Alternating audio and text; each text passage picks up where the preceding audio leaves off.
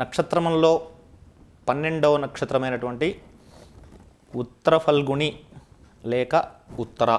ఈ నక్షత్ర జాతకులు ఎలా ఉంటారో తెలుసుకుందాం. ఆర్యమార్యమణం చేవ ఆర్యమణం చోత్రం తథా. ఈ నక్షత్రాన్ని ఆర్యమ ఆర్యమణం ఆర్యమణం ఉత్తరం. ఈ విధంగా ఉత్తర ఫలి నక్షత్రములకు అనేక విధమైన నామాలు ఉన్నాయి ఈ నక్షత్రము వర్ణం వచ్చేసి ఎరుపు రంగులో ఉంటుంది. ఈ నక్షత్రం రెండు తారల సమిష్టి స్వరూపాకారం కలిగి దండాకారంగా ఉంటుంది. ఈ నక్షత్రంలో జన్మించినటువంటి వారు సాధారణ దేహం కలిగి పుష్టిగల బాహువులు. బాహువులు అంటే భుజములు పుష్టిగా ఉంటాయి. విశాలమైన నేత్రం కలిగి రాజలక్షణములతో ఉంటారు. స్థితప్రజ్ఞత కలిగి ఉంటారు. స్థితప్రజ్ఞత అంటే ఏమిటో తెలుసా? భగవద్గీతలో కృష్ణ పరమాత్మ చెప్పాడు. స్థితప్రజ్ఞత్వం అంటే స్థిరత్వమైనటువంటి బుద్ధి. అంటే సుఖ దుఃఖములందు కూడా కష్ట నష్టములందు కూడా ఒకే రకమైనటువంటి మానసిక స్వభావం కలగ కలిగినటువంటి వారిని స్థిత ప్రజ్ఞత అంటారు.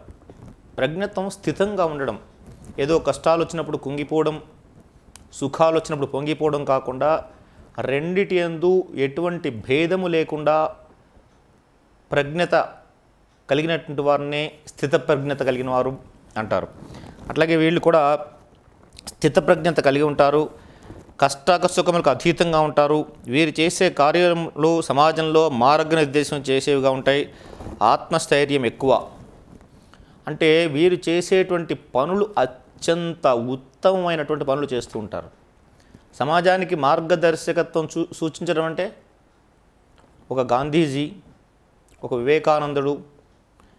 అంటే వాళ్ళు చేసేటువంటి పనులు ఎజ్ యజ్జదరతి ఆచరతి శ్రేష్ఠ యద్ ఆచరతి శ్రేష్ఠ అని భగవద్గీతలో చెప్తాడు. ఎవరైతే ఉత్తములు ఏది ఆచరిస్తారో ప్రపంచంలో ఉండేటువంటి మానవులందరూ కూడా అదే ఆలోచిస్తూ ఉంటారు. కాబట్టి శ్రేష్ఠులు ఆచరించే దాన్ని ఆచరించాలి అని చెప్పేసి మనకి పెద్దవాళ్ళు ఋషులు కూడా చెప్తున్నారు కాబట్టి ఇక్కడ వీళ్ళు కూడా చేసేటువంటి పనులు సమాజానికి మార్గదర్శకంగా ఉంటాయి. శాంత స్వభావులుగా కనిపించినప్పటికీ అంతరంగంలో దర్ దర్పము అహము ఉంటాయి. వీళ్ళు బయటకి చూడడానికి చాలా శాంతచిత్త స్వభావులై అనిపిస్తుంటారు. కానీ చక్కటి లోపల మాత్రం దర్పము అహము ఉంటాయి. వీరికి మాతృభాష ఎందే కాకుండా పరభాషల ఎందు కూడా పరిజ్ఞానం ఉంటుంది. వీరిపై తల్లిదండ్రులకు ప్రేమాభిమానాలు ఉంటాయి. విద్యా సంబంధ విషయములలో చురుకుదనం కలిగి ఉంటారు. వీరు పుట్టినటువంటి మాతృభాష అంటే మదర్ టంగ్ ఏదైతే ఉంటుందో దాంట్లోనే కాకుండా ఇతరములైనటువంటి అనేక భాషల్లో ప్రవేశం ఉండి అవి కూడా అనర్గళంగా మాట్లాడగలిగిన వారు అవుతారన్నమాట. అట్లాగే వి విద్యా సంబంధ విషయాల్లో కూడా విద్య చదువు విషయంలో కూడా మంచి చురుకుదనం ఉంటుంది. వీళ్ళకి స్వతంత్రమైన భావాలు ఉంటాయి ఆలోచనలు ఉంటాయి అందుకు తగ్గట్టుగా ఆచరణ ఉంటాయి. సదాచార సంపన్నత దేవతారాధన వైదిక విషయంలో శ్రద్ధ వంశాచారాలు పాటించటందు భక్తి కలిగి ఉంటారు. వీలైనంత వరకు సాత్వికంగానే ఉంటారు వీళ్ళు. అంటే సదాచారం అంటే మన ధర్మంలో వచ్చేటువంటి సాంప్రదాయాలని పాటిస్తూ వైదిక విషయములంటే దేవతా సంబంధమైన విషయాలన్నింటిలో కూడా చక్కగా ఉంటారు. అట్లాగే వీలైనంత వరకు కూడా చాలా అంటే ఈ ఇది ఈ నక్షత్రం అనేటువంటిది ఒక మొదటి పాదం వచ్చేసి సింహరాశిలో రెండు మూడు నాలుగు పాదములు వచ్చేసి కన్యారాశిలో ఉంటాయి. ఈ రెండు మూడు నాలుగు పాదం వారు మాత్రం చాలా సాత్వికంగా ఉంటారు. ఎందుకంటే కన్య అంటే స్త్రీ ఎలా ఉంటుందో సాత్వికంగా అలాగే ఉంటారు వీళ్ళు కూడా.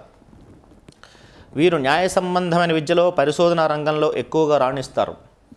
అంటే న్యాయ రంగంలో పరిశోధన రీసెర్చ్ మెథడ్స్ రీసెర్చ్ ఇన్స్టిట్యూట్స్ ఎక్కడ ఉంటాయో అక్కడ ఎక్కువగా వీళ్ళు రాణిస్తారు. ఆర్థిక విషయాలన్నీ కూడా అనుకూలంగానే ఉంటాయి. అనుకూలవతి అయినటువంటి యోగ్యవతి అనే భార్య లభించి దాంపత్య సౌఖ్యాన్ని పొందుతుంటారు. జీవితంలో చక్కటి భార్య లభిస్తుంది తద్వారా దాంపత్య సుఖాన్ని పొందుతుంటారు. వీరికి అంతర్గ్ర అంతర్గత శత్రువులు ఎక్కువగా ఉంటారు. అంతర్గతంగా అంటే బయటకు కనిపించినటువంటి శత్రువులు ఎక్కువగా ఉంటారు. భూమి గృహము వాహనములు ఆభరణములు సంపాదిస్తారు. ప్రతి సంపాదనలో కూడా వివేక విచక్షణ జ్ఞానంతో ప్రవర్తిస్తూ బుద్ధి కుశలతో నేర్పుతో జీవితాన్ని విజయపదాన్ని నడిపిస్తారు. సంపాదించేటువంటిది ఏదో పిచ్చి పిచ్చిగా సంపాదించటమో లేతే ఆ సంపాదనలో ఏదైనా ఇబ్బందికరమైన సంతానమే కాకుండా సంపాదించేటువంటి ప్రతి పైసా కూడా చాలా జాగ్రత్తగా సంపాదించి అట్లాగే ఎప్పటికప్పుడు ఎక్కడ ఏది అవసరమో దాంతో బుద్ధి కుశలతను ప్రదర్శిస్తూ తమ యొక్క జీవితాన్ని విజయపదంలో నడిపిస్తూ ఉంటారు. ప్రఖ్యాతమైనటువంటి ప్రతిష్ట గౌరవము వేల కొద్ది జనంలో ఆదరణ పొందుతారు. మంచి కీర్తి ప్రతిష్టలు పొందుతుంటారు. వీరు ఏ రంగంలో ఉంటారో ఆ రంగంలో అందరి చేత కొనియాడబడతారు. వీరి యొక్క ఆలోచన శక్తి కొత్తదనాన్ని కనుగొనడం అత్యున్నతమైనటువంటి వ్యక్తిత్వం వీటి వలన జనులందరికీ కూడా వీరు మార్గదర్శకత్వం వహిస్తారు. వీరు ఎక్కువగా గణితము జ్యోతిష్యము ఖగోళ శాస్త్రము ఇంజనీరింగ్ వంటి కోర్సుల్లో బాగా రాణిస్తారు. వీరు ఎత్తైన ప్రదేశాల్లో విశాలమైన ఇళ్ళలో నివ- నివసించడానికి ఇష్టపడతారు. వీరు చేసేటువంటి పనులన్నీ కూడా ఒక ధర్మాన్ని అనుసరించి ఒక న్యాయాన్ని అనుసరించి చక్కటి విధానాన్ని అనుసరించి ఉంటాయి. అందువల్ల ఎక్కువగా వీరు జనులందరూ కూడా వీరు చేసేటువంటి పనులు ఎలా చేస్తారు ఏం చేస్తారు అని చెప్పేసి ఆలోచిస్తూ వీరు చేసినటువంటి ధర్మకార్యాల్లో పాల్గొంటూ వీరికి మార్గదర్శకత్వం వహిస్తూ వీరు మార్గదర్శకత్వం వహించినటువంటి వాటిలో జనులందరూ కూడా వీళ్ళని అనుకరిస్తూ ఉంటారు. వీళ్ళు ఈ ఉత్తరఫలని నక్షత్రంలో జన్మించిన వారికి ఎక్కువగా గణితమందు జ్యోతిష్యంలో ఖగోళ శాస్త్రంలో ఇంజనీరింగ్ వంటి కోర్సుల్లో కూడా బాగా రాణిస్తారు వీళ్ళు. ఇంకా వీరు ఉండాలనుకున్న ప్రదేశాలు ఎక్కడైతే ఉంటాయో ఎత్తైన ప్రదేశాల్లో విశాలమైనటువంటి ఇళ్ళలో నివసించడానికి ఇష్టపడుతూ ఉంటారు. ఈ నక్షత్రం ఇక మొదటి పాదంలో జన్మించిన వారికి ఉత్పన్నాంశ అని పేరు. ఇందు జన్మించిన వారికి స్వచ్ఛమైన మనస్సు కలిగి తమకు తోచినంతగా ఇతరులకు సహాయం చేస్తూ ఉంటారు. తమ యొక్క మనస్సుతో ఇతరులను అక్కును చేర్చుకొని తమ యొక్క కీర్తిని పతాక స్థాయికి చేర్చుకుంటారు. అంటే అక్కును చేర్చుకోవడం అంటే దగ్గరకు తీసుకొని తమ యొక్క మనస్సుని ఇతరులకు పంచుతారు. ఆత్మీయులు అని అంటాం వింటుంటారు ఎప్పుడు కూడా. ఆత్మీయులు అంటే ఏమిటి? ఆత్మను పంచుకున్నటువంటి వ్యక్తిని ఆత్మీయులు అంటారు. కాబట్టి వీరు మనసును పంచుకోవడం వేరు కష్టాన్ని పంచుకోవడం వేరు నష్టాన్ని పంచుకోవడం వేరు దుఃఖాన్ని పంచుకోవడం వేరు. వీరు ఎదుటివారి యొక్క మనసును దొంగిలించి వీరికి వారి మనసునిచ్చి ఈ విధంగా మానసిక బంధాన్ని పెంచుకుంటారు. తద్వారా ఏమవుతుంది అంటే ప్రతి వారిని మన అనుకునేటువంటి మనస్సు వీరికి ఉంటుంది. దాని వలన అందరూ కూడా జనులు వీరంటే ఇష్టపడి వీరి యొక్క కీర్తిని పతాక స్థాయికి తీసుకొస్తూ ఉంటారు. ఇందులో మొదటి పాదంలో జన్మించినటువంటి వారికి ఆరోగ్యం బాగుంటుంది. అట్లాగే వీరు చేసేటువంటి కార్యాల వలన ఇతరులందరూ కూడా చక్కగా అనుకరిస్తూ ఉంటారు. ద్వితీయ పాదంలో జన్మించిన వారికి పాపాంశ అని పేరు. ఇందు జన్మించిన వారికి చంచల స్వభావంతో ఉండి సరైనటువంటి విద్యను అవలంబించక స్థిరమైనటువంటి వృత్తుద్యోగాలు లేక ఆర్థిక ఇబ్బందులు పడుతూ ఉంటారు. ఈ రెండో పాదంలో జన్మించినటువంటి వారికి సరైనటువంటి విద్య అలవడదు. దానివల్ల ఎటువంటి ఉద్యోగము వృత్తి వ్యాపారము స్థిరత్వం లేకపోవడం వలన ఇబ్బంది పడుతూ ఉంటారు. తృతీయ పాదంలో జన్మించిన వారికి ఉగ్రాంశ అని పేరు. వీళ్ళు ఈ ఉగ్రాంశంలో జన్మించిన వారికి బహుగరిష్ఠులై డంబంగా జీవిస్తూ ఇతరులు నవ్వుకునే విధంగా పనులు చేస్తూ అందరూ అందరూ కూడా అవునన్నదాన్ని వీరు కాదని కాదన్నదాన్ని అవునంటూ ఈ విధంగా వాదనలు చేస్తూ జీవిస్తారు. డంబంగా అంటే ఏదో గొప్పగా జీవిస్తూ ఉంటారు. వీళ్ళని చూసి అందరూ కూడా నవ్వుకుంటూ ఉంటారు. అయ్యో వీళ్ళు ఇలా చేస్తున్నారు ఏమిటి అన్నప్పటికీ కూడా పట్టించుకోకుండా ఈ సమాజంలో సంఘంలో కుటుంబంలో స్నేహితుల్లో ఎవరైతే వీళ్ళని అవునంటారో అది కాదంటారు. ఎవరైతే కాదంటారో దాన్ని వీళ్ళు అవును అవును అంటారు. అట్లా ఈ విధంగా వాదనలు చేస్తూ తమ యొక్క జీవితాంతం కూడా గడుపుతూ ఉంటారు. చతుర్థ భావంలో జన్మించిన వారికి శుభాంశ అని పేరు. ఎందు జన్మించినటువంటి వారికి చక్కటి స్ఫురణ శక్తి ఉంటుంది. అద్భుతమైన తెలివితేటలు ఉంటాయి.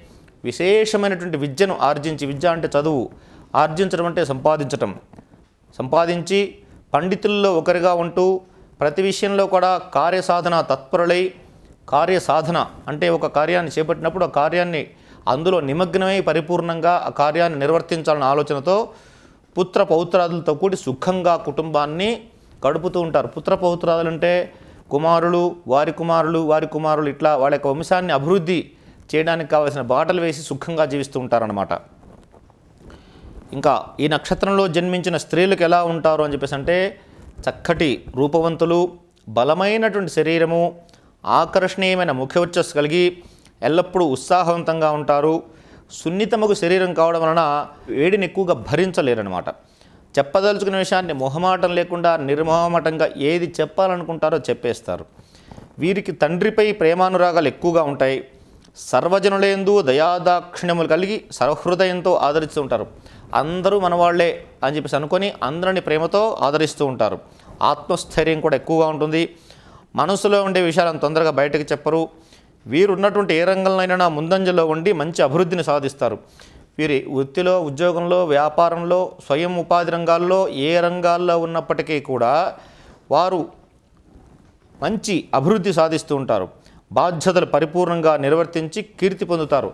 అంటే వీరున్నటువంటి ఉద్యోగంలో ఆ ఉద్యోగం ఉన్- ఉన్నంత వరకే నాది ఆ తర్వాత నాది కాదు కాబట్టి ఎట్లా చేస్తే ఏమిట్లే అనేటువంటి స్వభావాన్ని కాకుండా వీరికి చెప్పినటువంటి ఉద్యోగ వ్యాపారం ఏదైతే అప్పగిస్తారో నమ్మి దాన్ని త్యాగ నిరతతో పూర్తిగా ఈ ఉద్యోగం వ- ఈ ఉద్యోగం నాకు అప్పచెప్పారు కాబట్టి దీన్ని పరిపూర్ణంగా నిర్వర్తించాల్సిన బాధ్యత నా పైన ఉన్నది.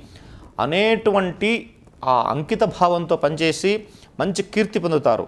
ప్రయాణాలు చేయడం అన్నా ప్రకృతి సౌందర్యం ఆరా ఆరాధించటం అన్నా తీర్థయాత్రలు చేయడం అన్నా అధికమైన ఇష్టాన్ని కలిగి ఉంటారు. ప్రయాణాలు చేయడం కానీ తీర్థయాత్రలు చేయడం కానీ వీరు చేసేటువంటిది చాలా ఇష్టపడుతూ ఉంటారట. అంటే ఎక్కువగా తిరగడానికి ఇష్టపడుతూ ఉంటారన్నమాట వీళ్ళు. అధికమైన ఇష్టాన్ని కలిగి ఉంటారు. చక్కటి స్నేహశీలురు. అంటే వీరిని నమ్మి వీరితో స్నేహం చేయడం వలన స్నేహం చేసిన వారికి కూడా మంచి కలుగుతుందన్నమాట. సమయ సందర్భానుగా అనుసారంగా పరిస్థితులకు అనుగుణంగా మారుతూ జీవితాన్ని సుఖమయం చేసుకుంటారు. సమయము సందర్భము అక్కడ ఎక్కడ మేము ఇలాగే ఉంటాం అట్లా ఉండము ఇక్కడ రాజీ పడను అనేటువంటి తత్వాన్ని లేకుండా ఎప్పుడు కూడా ఆ పరిస్థితులకు అనుగుణంగా మారుతూ జీవితాన్ని సుఖమయం చేసుకుంటారు. కుటుంబ సౌఖ్యం కోసం ఆనందం కోసం పాటుపడుతుంటారు. జీవితంలో ఎక్కువగా వైభవాలు ఉండాలని చెప్పేసి కోరుకుంటారు. ఈ నక్షత్రం వారికి అదృష్టవారం అంటే ఒకటో పాదం వారికి మాత్రం అదృష్టవారం మంగళవారం రెండు మూడు నాలుగు పాదముల వారికి మాత్రం శుక్రవారం. అదృష్ట దిశ ఒకటో పాదం వారికి తూర్పు రెండు మూడు నాలుగు పాదముల వారికి దక్షిణము. ఒకటో పాదం వారికి అదృష్టరత్నం కెంపు రెండు మూడు నాలుగు పాదముల వారికి వజ్రము శుభం భూయాత్.